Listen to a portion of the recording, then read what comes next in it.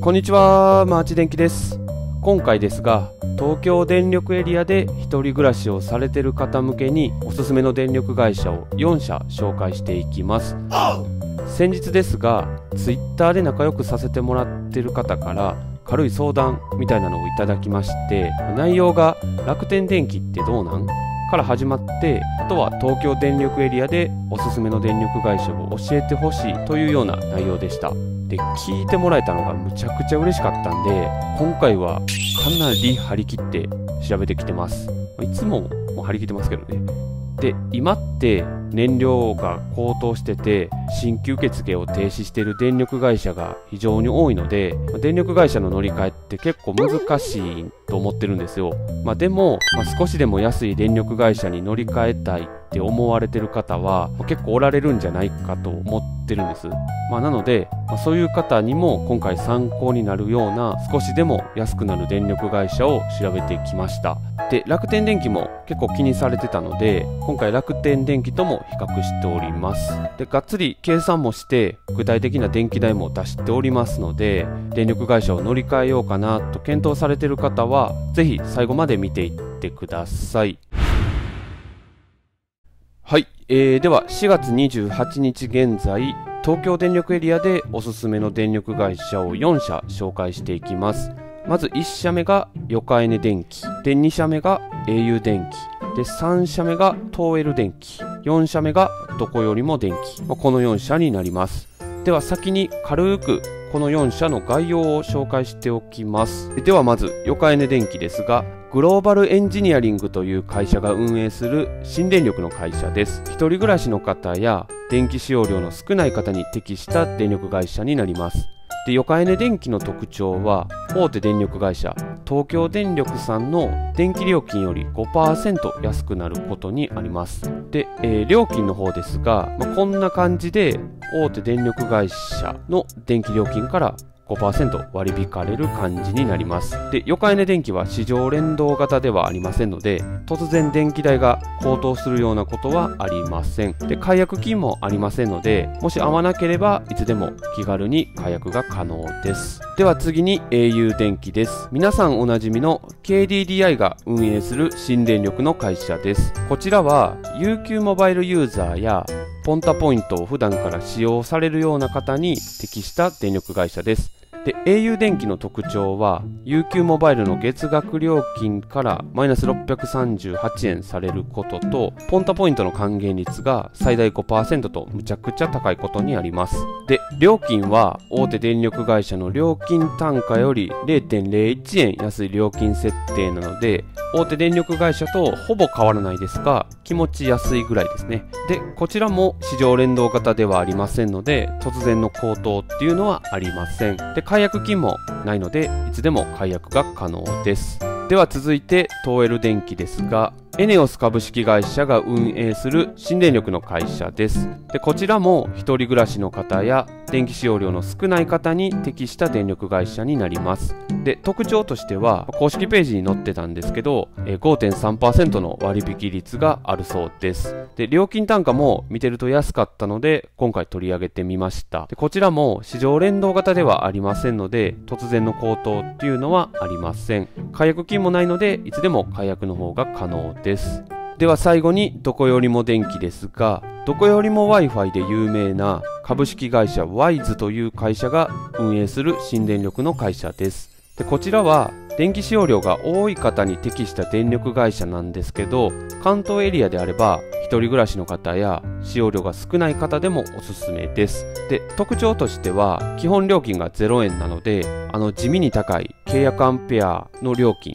基本料金のことですね。が0円になります。で料金は基本料金が0円の料金単価が一律26.3円になります。でこちらも市場連動型ではありませんので突然の高騰っていうのはありません。で解約金もないのでいつでも解約の方は可能です。軽くとか言いながら結構喋ってしまいましたが4社の概要は以上になります。では次にこの4社と大手電力会社あと楽天電機ですね。この6社の料金を比較していきたいと思います。はい、えー、では計算結果を紹介していきますがその前に計算条件だけ先に紹介させてください。今回出した計算結果の計算条件ですがまず再エネ賦課金と燃料費調整額は含めず計算しております。で、えー、計算結果の方ですが全て税込み価格の金額になります。で au 電気と楽天電気は電気料金に応じてポイントが付与されるんですけどもそのポイントが税抜き価格に対してのポイント付与になりますのでポイントの方は税抜き価格で計算しております。あと電気代の計算で必要になる使用量ですが、まあ、使わない時は 50kWh でちょっと多くて 100kWh むっちゃ使って 200kWh かなと思ってこの使用量を設定しております。契約アンペアの方は 30A と 40A この2パターンで計算しております。ではこの条件で計算した結果がこちらになります。はい、えー、ではこちらの表ですが契約アンペア30アンペアで使った場合の料金結果になります。で横列が電力会社縦列が電力使用量になっております。で一番安い電気代を赤文字にしています。では 50kWh の方から見ていくと一番電気代が安かったのがどこよりも電気になります。やはり基本料金が0円ですので基本料金がある他社と比較するとぐっと電気代は安くなります。で楽天電気も基本料金0円なんですけど6月1日以降に料金改定が決まっておりましてそれで電気代がぐっと高くなりますのでどこよりも電気より100円以上高い結果となっております。で次に安かったのがヨカエネと東エル電気ですね、まあ、どちらも5%ぐらい安い感じですので東京電力よりも少し安い結果になっております。で au 電気の方はまあ、東京電力とほぼ変わらないんですけど、まあ、ポンタポイントの還元があったり、まあ、こっから別途で UQ モバイルの料金がマイナス638円されますので UQ モバイルユーザーの方にはお得になります。では次に 100kWh ですがこちらは先ほどとほとんど状況は変わらないんですけど楽天電気だけちょっと変わってまして、まあ、さっきまで結構安い金額やったと思うんですけど今回はこの6社で一番高い結果となってます。基本料金0円といえど料金がかなり高くなってしまいますので楽天電気使われてる方はこの機会に見直ししてみるのもありかもしれません。では続いて 200kWh ですが 200kWh まで使うとちょっと状況が変わっておりまして一番安いのがヨカエネ電気になります。で先ほどまで一番安かったどこよりも電気ですが、まあ、ここは基本料金0円がお得なだけであって料金単価は一律26.3円なんで 120kWh の使用量までは東京電力であったり横エネとかの方が全然安いんですよ、まあ、なので中途半端な使用量はかえって高くなってしまいます。ですので1人暮らしだけど毎月の使用量が 200kWh を超えてくるような方は横エネ電気の方がお得になります。では次に契約アンペア40アンペアで計算した結果がこちらになります。では、えー、先ほどと同様に 50kWh から見ていきます。50kWh はもう先ほどと同じでどこよりも電気が一番安い結果になっております。で、えー、次がヨカエネ、トーエル、au 電気というような感じですね。で続いて 100kWh ですがこちらも一番安いのがどこよりも電気になります。で、えー、さっきと違うのはヨカエネよりもトーエルの方が安くなってるんですよね。っていうのも契約アンペアを40アンペアにするとトーエル電気は料金単価が若干安くなるのでヨカエネ電気よりも電気料金の方が安くなってきます。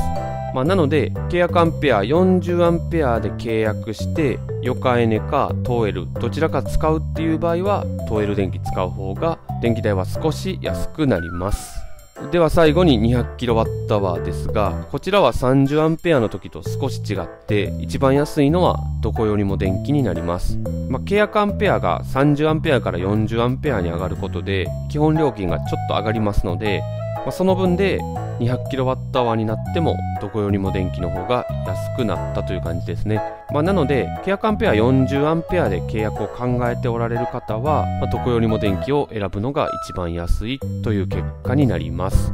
で UQ モバイル使われている方はね、えー、変わらず au 電気の方がお得かなと思いますので僕的には au 電気がおすすめです。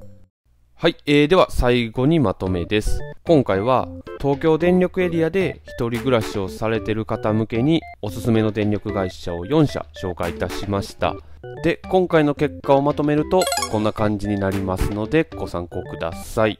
で、あと契約アンペアですね。30アンペアか40アンペアかどっちを選んだ方がいいのっていう疑問を持たれてる方もおられるかと思うんですけど僕的には一人暮らしであれば30アンペアで十分かなとは思いますで、えー契約アンペアの選び方についても別の動画で解説しておりますので契約アンペアの選び方全然意味わからへんっていう方はこちらの動画も参考にしてみてください。はい、えーというわけで今回の動画はこれで以上になります。動画がいいねと思ったら高評価チャンネル登録の方よろしくお願いします。